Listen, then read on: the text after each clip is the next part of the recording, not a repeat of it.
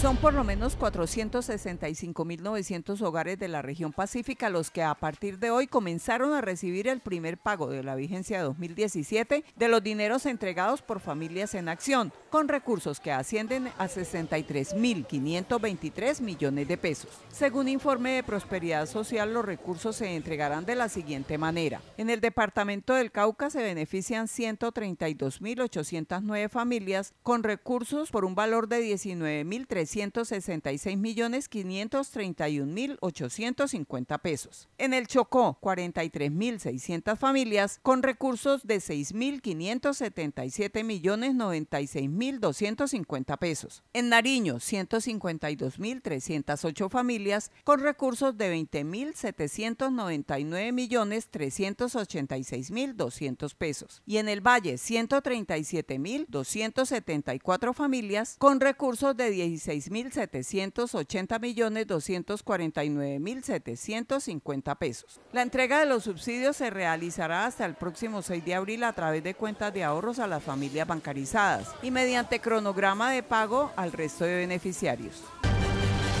Debido al plan de contingencia que se está realizando en la ciudad de Cali, se ha logrado evidenciar retrasos vehiculares, como es el caso de la organización prestadora del servicio de limpieza de la ciudad, que desde el día de ayer presenta demora en la recolección de residuos. Todo el día se va a realizar el servicio de recolección de desechos en Siloé, El Calvario, Obrero y la Comuna 1. También piden a los habitantes no sacar los residuos hasta que el camión recolector pase por el lugar y así evitar respuestas negativas en salubridad y medio ambiente. De la misma forma, tener presente que situaciones como estas pueden continuar durante el plan de contingencia.